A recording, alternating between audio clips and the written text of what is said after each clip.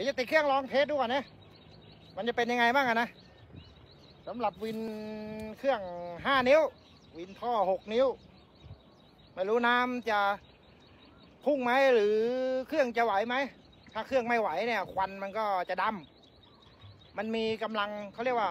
มันฉุดไม่ไหวอะพอมันฉุดไม่ไหวแล้วก็ปั๊มมันก็เร่งสู้นะพอปั๊มเร่งสู้เครื่องมันก็ฟันดำเดี๋ยวจะดูดิฟันดำหรือจะฟันขาว ลองดูก่อน อันนี้ประกอบเรียบร้อยแล้วสอบก็มีการยึด ยึดถ้าไม่ได้วางกับดินยึดกับแท่นแบบนี้ก็ต้องมีการยึดม่ให้มันเป๋ไปเป๋มาได้นะ มันไม่ใช่เทคนิคอะไรหรอก มันเป็นความเคยชินเพื่อม่ให้เครื่องมันเดินหน้าถอยหลังเพื่อเราจะได้ไม่ต้องมาปรับตั้งกันใหม่นะ แต่ถ้าเป็นรถไถมันก็อยู่กับที่นะ แต่ถ้าเป็นเครื่องวิทย์ท่อวิทย์ไรพวกเนี้ยไม่ได้ขี่หลังอะเขาเรียกว่ามันไม่ใช่เครื่องขี่หลังเนี่ย มันก็จะมีปัญหาเรื่องการปรับตั้งเล็กๆน้อยๆคันในสายพานซื้อมาสองเส้นคู่ทีไรเนี่ย มันไม่เท่ากันสักกระเส้นหนึ่งนะโอ้ยเดี๋ยวใช้เส้นเดียวเลยง่ายดี